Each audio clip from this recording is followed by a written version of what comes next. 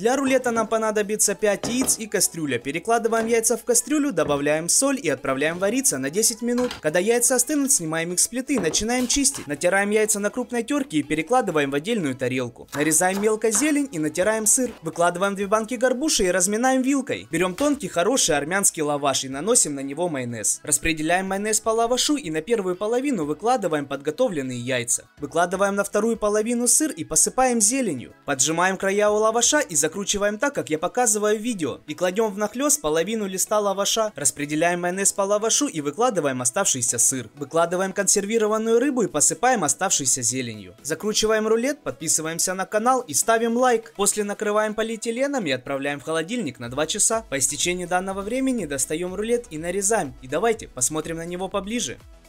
Данный рулет получился очень вкусный, но есть нюансы, которые я бы исправил в рецепте, и об этом я расскажу во втором части видео.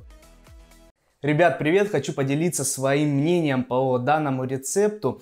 Вкусный ли этот рецепт? Да, безусловно, он очень вкусный. Буду ли я его еще готовить? Да, буду. Но есть, а, наверное, пару нюансов, которые я бы в данном рецепте бы изменил. Рыбку, которую я добавил в конце, а, последний слой, он немножко отходит от лаваша. Наверное, вы это ну, заметили концовке моей презентации. Я думаю, это из-за того, что горбуша, она сама по себе суховатая. Можно было бы заменить какой-то другой рыбкой.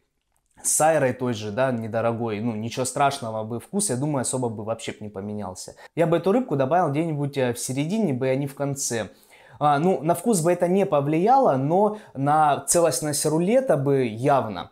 А, было бы все намного бы лучше, наверное, и красивее, и, и легче бы резалась, потому что раздавленная рыбка, а, она а, разваливается, да, сама по себе. Но серединка, как вы увидели в самом рулете, она плотненько прилегает, и сыр, и яйцо все вообще, в принципе, без нареканий. Ребят, хочу сказать, чтобы вы подписывались на мой инстаграм аккаунт, на мой э, Яндекс.Дзен, на мой YouTube канал. И если вы меня находили в ТикТоке, тоже меня, э, на меня подписывайтесь. Там тоже выходят быстрые рецепты. Всем до новых встреч. Пока-пока.